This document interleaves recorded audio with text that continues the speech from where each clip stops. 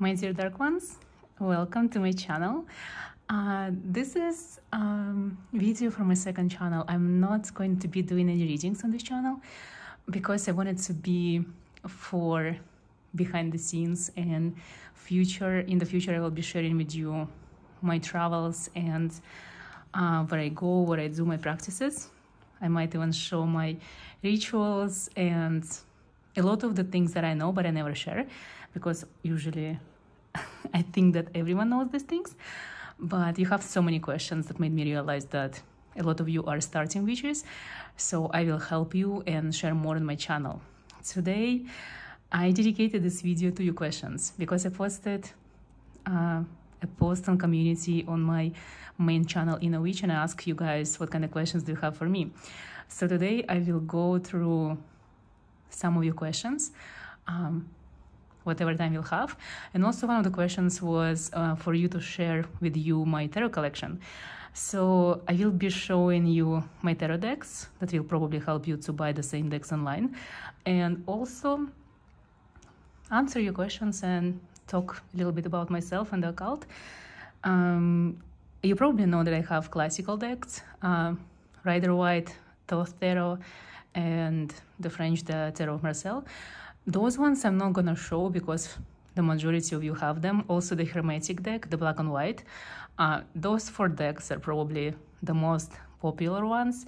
I do believe that everyone who are into tarot should have them. This is the most classical collection. Those tarot, they open some kind of gates, you know, in your soul. They connect us to your higher self the, the best, the best, the most.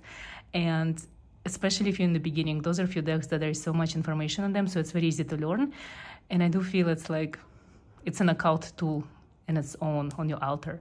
So even if you don't use them, but you have them, it's elevates the power of your altar on just subconscious level because so many practitioners use them and have them, and they created by the most famous figures of the occult of the past centuries. So definitely those are the decks that I, I do recommend to have this deck is the one that I get so many questions in regards of where did I get it from. I got it as a gift in Paris. Actually, not even in Paris, but in France. Uh, it's a deck that is created by designer, uh, by artist, but I think Spanish artist. I don't remember her name. I don't remember the name of the deck, but um, if you can find it, if someone can find it and tell us the name of the deck, actually, I will be so grateful. The deck itself, honestly, it's like an art because it's created by an artist and her knowledge of the occult of classical art is just, I think, exceptional. Every card is so beautiful. It's just, I don't know, for me, it's even more like decoration than tarot. Uh, it's an oracle deck. It answers questions uh, it's beyond beautiful. It's good in photos as well. Um, if you're a practitioner, this deck probably helps you as a visual tool to attract more people.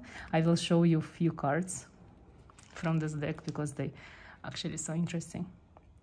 Even if you look at this, right? Creation and there is a keyhole and the heart is like this imagery invokes something in you. Like when I look at this card, there's so many things that come in right away to my head to tell during the reading. So this is really interesting deck if you're actually trying to do intuitive readings because the more intricate the art is, the easier it is for us to say something, right? Even for example, if you have a question, and this is actually one of the questions I've been asked, how to um, learn and read tarot intuitively just by looking at the tarot card, right? So for example, if you have a question, how does my soulmate look like? And when you're looking at this card, you definitely can say right away, unusual looking, you know. Pink hair definitely tells that. They changed their hair color a lot. A lot of tattoos, you know, unusual dressing, so maybe they into gothic, into witchy outfits, you know, so it's so easy to read cards when they are like that. This one definitely comes the inspiration from ancient Greece when Europe was abducted and delivered to Zeus, right? So this is another deck. This one in Russian. Um, my mom gives me these decks as a gift when she meets me twice a year. And um, you probably don't know, but I do speak Russian. This is, uh, if you know the works of H.P. Lovecraft, the Necronomicon, so this deck is based on his works. I will open it. I, I use it not so often, uh, probably because I'm not a fan of H.P. Lovecraft. I do like that he was the inspiration for so many occultists, but as a deck itself, I don't feel like it resonates with me much, but my mom keeps getting it for me. even if I give it to someone as a present, she still brings back, even though she doesn't know, but um, she always have this crazy intuition, so she always gives it back to me. So I guess I still have it, no matter what. It's an interesting deck, actually, especially if you're a fan of uh, all his books or if you're into something unusual. This deck is definitely interesting. So this is the Hierophant. As you see, it's very dark, it's very dramatic. It's exceptionally unusual deck. And if you work with dark magic, um, this is something very expert, very, very, I would say inspiring your dark side. It's provoking you to go deeper into your dark side, right? So even if you didn't read his books, this is still very interesting tarot. One of the questions that I was asked a few times in my community section was if I have any mentors in 3D or 5D. This is the Empress, by the way. If you see the Empress card, usually very positive, and this deck is like, it's scary and witchy, right? Uh, mentors in a normal sense of way, probably the way you assume um, when you were asking the question, I don't have any mentors. This is High Priestess, by the way. Um, I do feel that when you choose magic, it's very important to stay true to yourself because we are so different. And uh, by following somebody else's path, we might forget our own. Um, you can get, this is the magician, you can get inspired by other people, other practitioners. Like, for example, when first time you saw me doing candle wax and you felt like this uh, excitement that you wanted to try it. So, in this case scenario, maybe you can say that I'm your uh, mentor, right?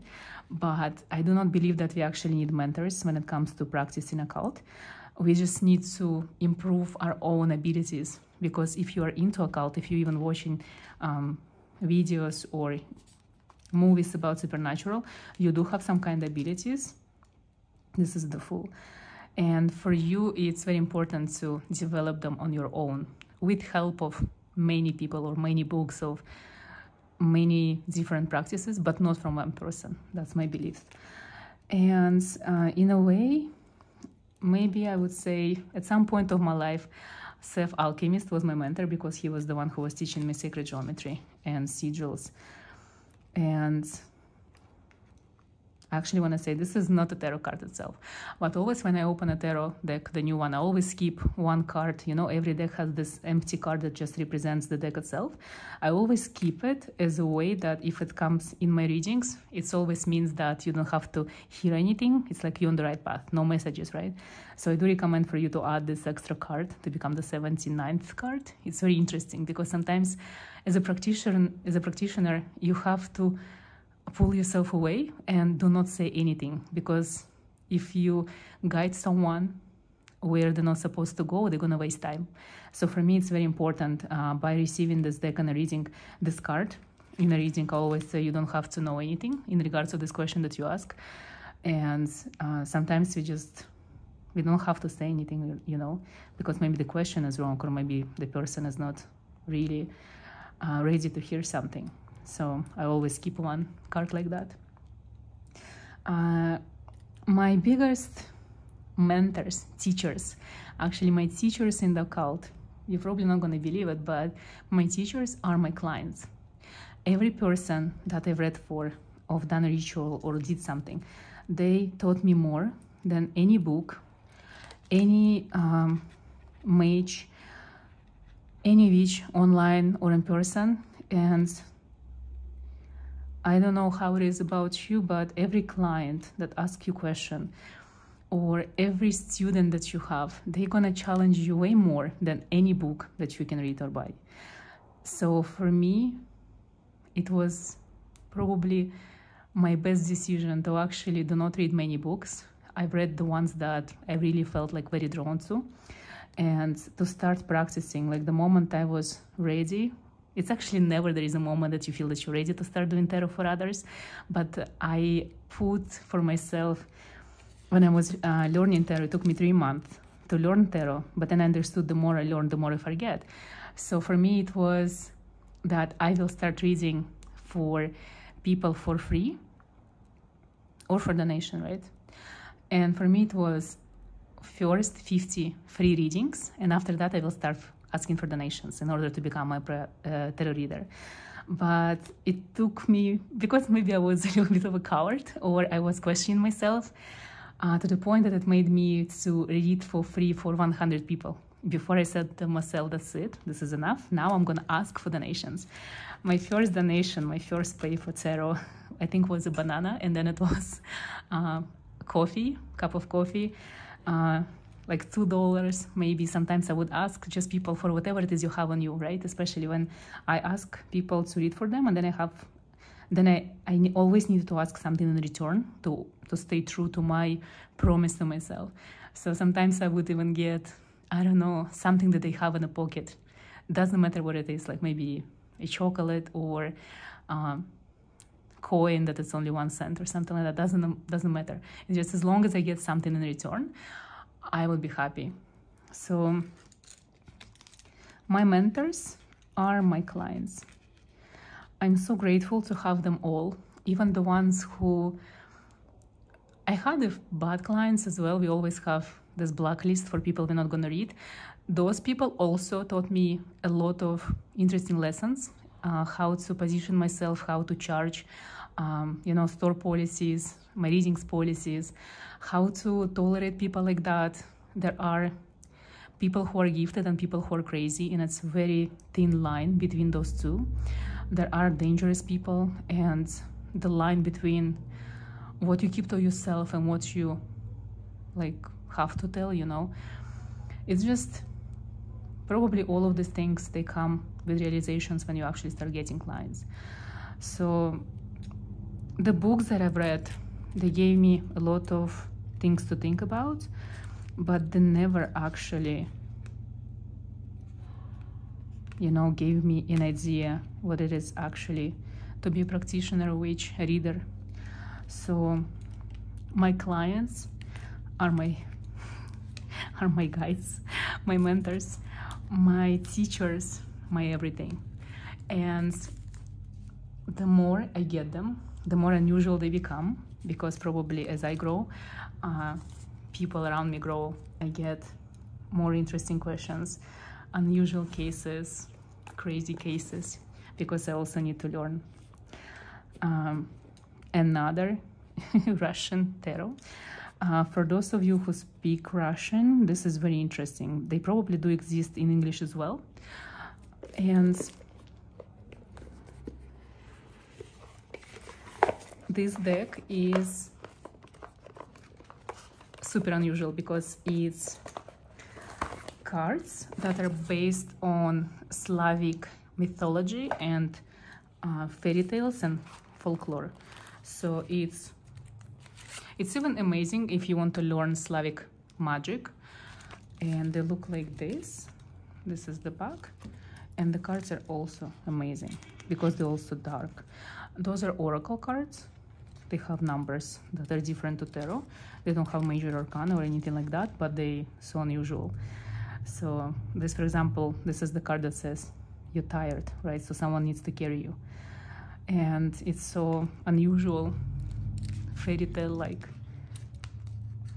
This is fears when you're scared.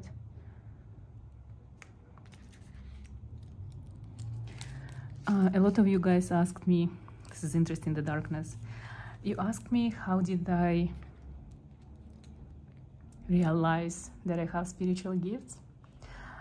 I don't think I realized that because all my life I was fascinated by the supernatural and witchy things, but I was very religious.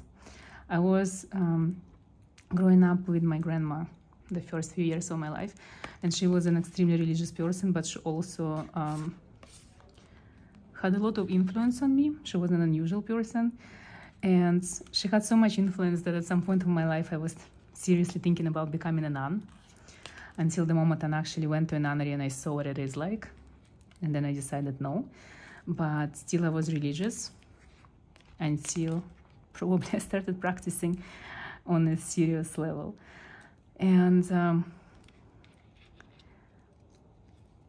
you know, it's probably the hardest thing is for us, for practitioners, to actually believe that we are special, believe that we can do this, you know, and admit it to ourselves even more than to our family. When I realized that I supposed to do that, I didn't tell my mom for many years. I didn't tell my grandma. I think she died without not knowing what I do for a living. And only after that, after a few years, I told my mom, and her first question was, you don't even have like any good jobs in your country where you live. There is no jobs for you. Is that the only way for you to your money? It's like you fell so low, you know. and even though she does, um, she does coffee readings herself now. She actually taught me how to do that. Uh, she was so religious and so probably normal. So it is crazy that I that I do this in my family. I'm the only one, and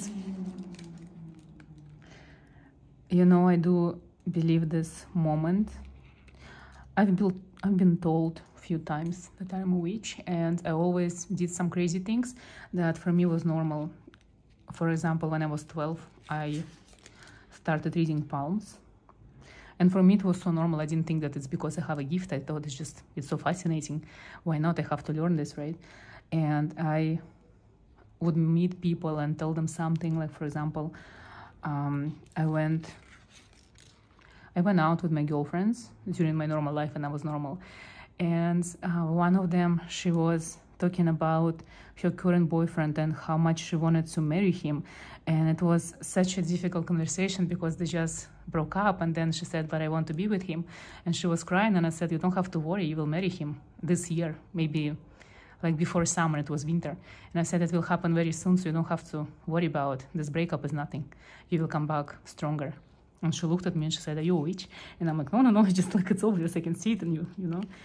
And I think five and a half months later, uh, she got married to the guy. But for me, it was always probably like for you as well. When you see something like this and you just have this feeling and you just say it, and for you it's normal, you always think that everyone can tell this. That's why a lot of people who actually want to become readers or practitioners, they never do become them because they always think that everyone can see that, everyone can do that. And that's our biggest mistake because the majority of people, they kind of blind when it comes to all of these things. I always had interesting encounters like for example i encountered gypsies when i was 16 and they were trying you know how they they scam you for money like they say something like they put you into a hypnotic state and then they ask for money or they say something will happen if you don't give us money and they did it to me and when the moment came when they said now you have to give us money or something happened and i said no it's it's not true i know it's a lie. I'm not to give you money you know and then the woman who was doing this to me the gypsy she looked at me like straight into my eyes and she said are you one of us? And i was like no of course not. What are you talking about? You know? And she and then she said something like few things like very fast uh, with without letting my hand go.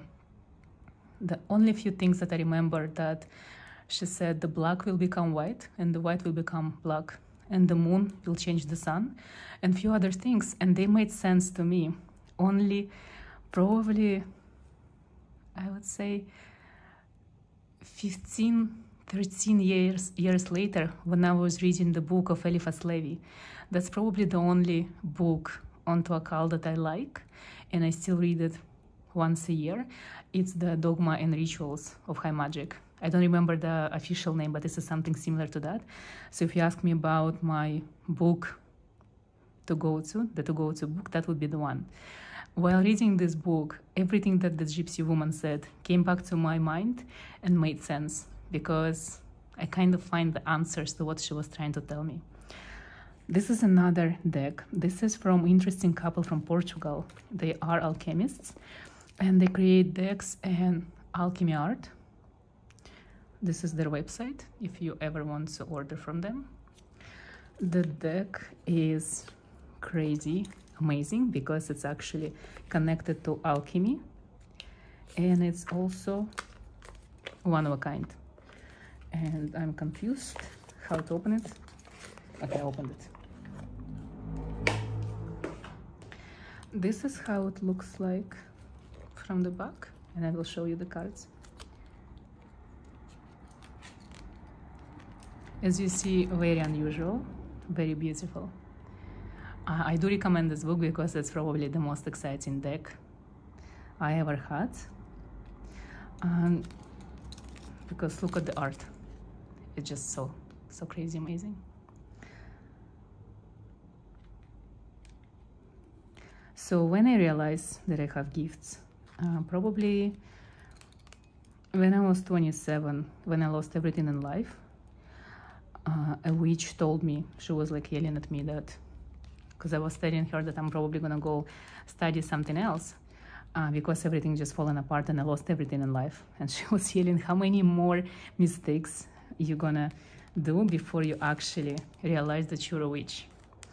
and it was so serious and it kind of stopped me in my track and i still remember the impact of her words on me and i still for one year i chose not to believe her and i chose to try to have normal life. And then at some point when again i lost everything and i was like fine. Now i will try to be to become a tarot reader. Not to learn tarot i just say to myself i will become a tarot reader. Or else? That's it.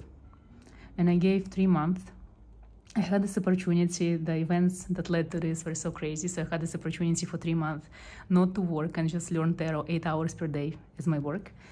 And after that, everything just took off. It was so magical, so crazy. I think the moment when you accept your path fully, that's when you that's when you see real magic, how crazy it becomes. And how your life changes, how the universe actually guides you and takes care of you in the most unusual way. Of course, you have to make decisions that are crazy. You have to make the most difficult sacrifices. You have to go through the things that break you or make you, right? And probably some of you know what I'm talking about. And you ask me how did your gift manifest it? Activation, meditation? No. I do not believe that gifts can just activate it if you sit and meditate. No, I do believe, but again, it's my path. It doesn't mean that for you it's different because I know for Seth Alchemist, it just started when he, I think he just started seeing sacred geometry, like interesting shapes. And after that, his life changed. Uh, for me, it was learning tarot that made me who I am. These three months of going deep into the occult, of learning every sigil, every uh, number, every art. I was learning from two decks, from the um, uh, Rider Waite's and from Hermetic Tarot. On Hermetic Tarot, there is so much imagery, so many intricate details. So I went through all of them. Uh, I probably used two heavy notebooks, thick notebooks, and I learned everything. And those three months of learning were my initiation. I didn't meditate. I became different because I was into nature. Before I used to hate nature, but I, I realized just because the nature that was around me, it just wasn't the nature that I drawn to. Like for me, if I don't see palm trees around me, I just don't feel home. It's probably my past lives or I don't know what, but I like when it's hot, when it when there is a sea, desert, palm trees. That's where I feel at home. If I don't have palm trees, like it's it might be depression. I'm never depressed. I don't go into depressions, but this is when I'm depressed if I don't have uh, palm trees around me. And as you can see, this deck is insanely cool, right? The art is just beyond amazing. I'm gonna show you another deck.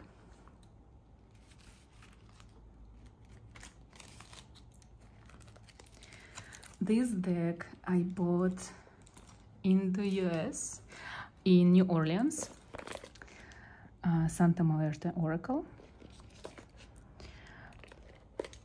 Because this this is Oracle. I don't usually like oracles, uh, but some of them just so interesting. Sometimes you have to just ask one simple question, right? You just have to pull one card, and oracles are the best for it. This is how the deck look like, and actually, if you put all cards together as a puzzle, it becomes a beautiful art. So it's very very interesting, and I'm show you how the how the decks look like. Also amazing, also very dark, unusual, and give you some kind of answers right away. You ask me what new skills are you learning? Uh, currently, I'm in a country that is uh, very connected to ancient Greece and um, ancient Greek magic and it's the land of witches. So I'm learning how to cast ancient spells. This is something new for me because I was uh, doing a lot of voodoo dolls, you know, voodoo. I learned uh, voodoo not too long ago and I've been into divination. Now I really into spells, rituals, hexes. So this is what I learned because I feel, again, for me, I learn from the practitioners. I have to go to a practitioner and see what they do. I learn this way better than read online or study a book on voodoo, for example. Uh, it's like, for me, one of my gifts i think that was given to me is just to tell people what they are. That's what i see. I see a person uh, right away i can sense what they are their soul origin their gifts abilities. So for me i'm a mirror to a person in front of me. So when i sit in front of a witch and she casts an ancient spell i feel it i sense it and i remember it. It's like it becomes part of me you know? And it's way more powerful than read an old grimoire than actually to sit in front of her for 10 15 minutes. That's what i'm learning.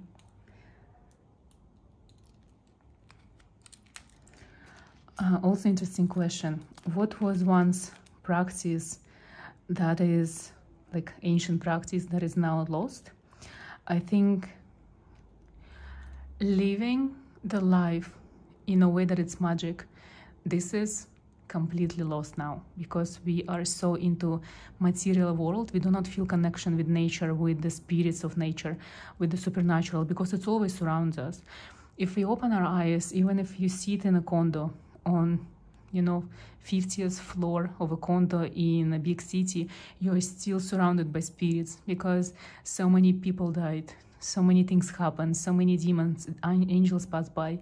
And ability to always be when, when one foot in the supernatural and one foot in your um, normal life. And we lost it over the years. It's either a normal person or a practitioner. Some practitioners they don't even even see anything, no visions. They don't they don't connect to spirits. They just do something that is also empty because they they cannot see, they cannot feel. Um, I was very fascinated by by shamans in Panama, by the tribes in Panama. Uh, some of them they're not even shamans. They don't consider themselves shamans. They just think that they're they're part of this tribe. But the things that they can still see how they can control the ocean the you know the, the wind or talk to animals they literally can stop any animal and just control them. Uh, i was walking with a member of the tribe in panama and there was a stray dog, very scary, running toward us, uh, barking and probably having not best intentions. And I was so scared. And he just literally he just stood in front of the dog, um, moved his hand his hand toward him, and he just started talking in his language, like, "Why are you like this? Where are you running? What happened? Tell me. Uh, are you hungry? You know?" And the dog he just became so like quiet like a puppy and he just went to him and he started like uh, like doing these weird noises like he was trying to tell him what's wrong you know? And when i asked him how did he not got scared from this? And he's like but why? You see clearly something happened to dog. It's not he's just he's not stupid right? Uh, he doesn't want to hurt anyone. It just he needed to he needed help you know? And it's really really made me think about the things that we do not understand only because we lose our connection to supernatural i do believe in in ancient times people were more open to it. They were more attuned with with the universe, with nature, with deities. You know, in every city that I go to, the new ones, in the first three days, I always try to find the street of spirits. There is specific street where spirits and ghosts, demons, angels, you name it, they walk like it's a parade every day. There is so much power that's happening in the street. So always find an interesting intersection on the street where I do my ritual that that gives thanks to to the universe, to nature, to everything. To the spirits and these powers that made me to come to see the city. And you know, majority of the people don't see it. We walk through spirits every day, and we don't even understand that. Um, also, a lot of you people asking, um, where do I live? I do not live anywhere. For the past um, probably five years, I've been traveling the world because I look for answers and I learn magic from people that I go to. And I've been to more than 30 countries in the past five years it's kind of like gypsy lifestyle. So my altar is always traveling altar, and that's why I cannot sell any physical products because sometimes I'm in countries where there is no post or I don't have address. So I don't have a home. The whole universe is my home. Interesting card. Uh, probably I'm gonna answer one more question. Interesting question, actually. Someone is asking I'm in a phase of life where I couldn't manage to make a decision properly. Why is that? Uh, why is that that you cannot make a decision? Why is that that you lost? Why is that that you feel stagnant? Why do you have void? Why do you have um, why do you feel unhappy even though on the paper everything is right you know? Why you feel like you lost and you don't feel yourself and why when you do something it's always taken away from you? It's a very simple answer. It is because it is because you're doing something wrong you're not being yourself and you don't even know what you need to do or what you want to do. For for people who watch occult supernatural things on YouTube, on TV, you know, if on Netflix you watch movies about witchcraft, for you guys, it means that you are unusual. There is something about you that is very magical. So the more you try to fit in, the more you try to live a normal life, the less happy you become. It means there always going to be a moment moment of your life when you feel that you cannot do this anymore.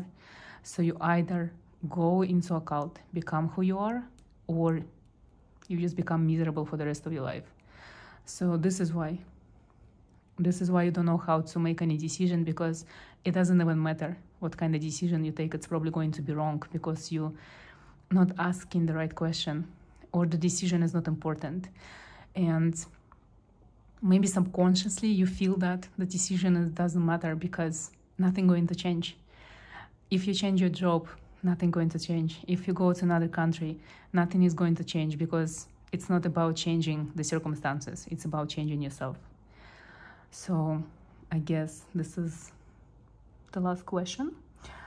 I'm still gonna go uh, over other questions that i have there because there's so many beautiful crazy amazing questions that i want to talk about and address.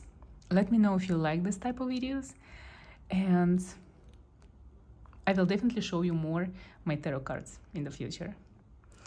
So enjoy the rest of your day or your evening or your morning and I'll see you in the next video.